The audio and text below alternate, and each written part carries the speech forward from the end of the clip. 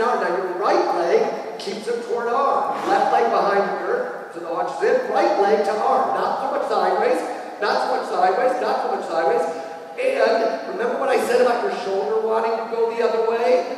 You gotta, it's skiing. You gotta face your shoulders on the fall line. You're like this, look at me, like this. You slide that way like your skis would if you're a skier. You get that? Shoulder in.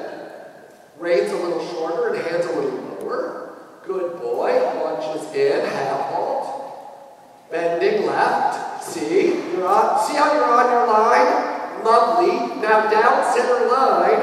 And you have to keep on a line now to me. To me. To me. Only to me. Yep. Bending left. Left leg. Right leg a little back. That's all. Not so much. Not so much. Not so much. Not so much. Yes. That's it. Bending left. Left. Look left. Super. So you, you understand what I'm saying? You can kind of ride a half Down center line again. And only face your shoulders to the letter V.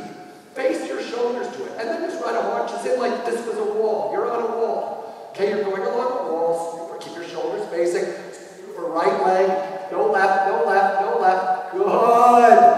Awesome job. Half halt. Super. And on diagonal, half halt to, to medium trot again. So here's your half halt. You already know it.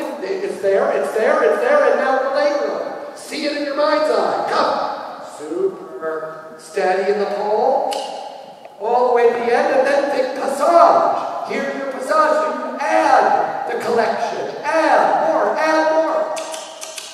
Pedal, pedal. Good boy. And then go for it. Think of an extension again. And as he extends, just close your fingers a little more. Okay, so this time, collect, like you're adding the extension. Add like you're adding extension and collect. Good boy, and give it. That was lovely to the walk. Super, Sue. And give him long rein and give him a big pat. Awesome. So, what's lovely is, and that was the story of the days.